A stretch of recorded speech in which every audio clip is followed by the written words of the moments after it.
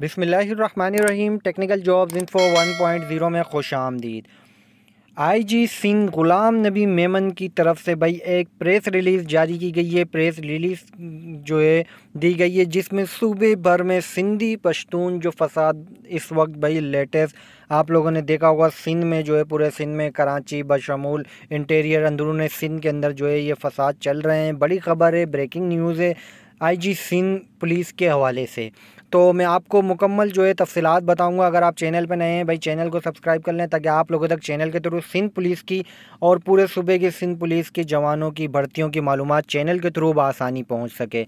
तो मैं आपको लेके चलता हूँ, भाई, एक जो है स्टेटमेंट की तरफ़ जिसमें आईजी सिंध गुलाम नबी मेमन ने क्या इसके अंदर जो है स्टेटमेंट दी है? सिंधी पश्तून फसाद के हवाले से आप लोगों को भाई, ताकि जो नवा, नौजवान ड्यूटीज़ कर रहे हैं या दो, जो सुबह सिंध के जो शेरी हैं भाई, इस हवाले से आप लोगों का जो है माइंड और कॉन्सेप्ट क्लियर हो।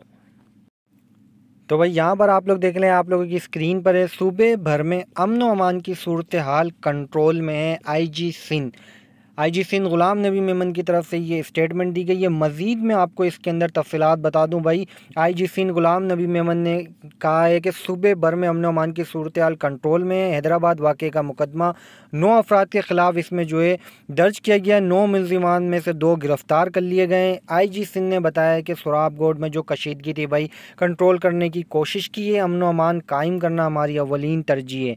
इन्होंने बताया, मज़ीद बताया कि भाई, सुराब गोड में चालीस अफराद गिरफ़्तार और सौ से जायद जेर हिरासत हैं। गिरफ़्तार अफराद के ख़िलाफ़ मुकदमा दर्ज किए हैं। ग़ुलाम नबी मन ने कहा है कि सूबे भर में मामूल के मुताबिक कारोबार जारी है।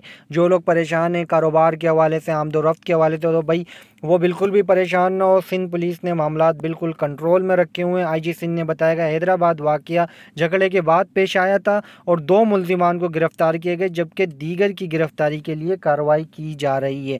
तो जो पश्तून भाई हैं, जो सिंधी भाई हैं, भाई आप लोगों से भी यही रिक्वेस्ट है कि आप लोग जो है थोड़ा सा मामला को समझें और जो है सिंध पुलिस के साथ कोऑपरेट करें।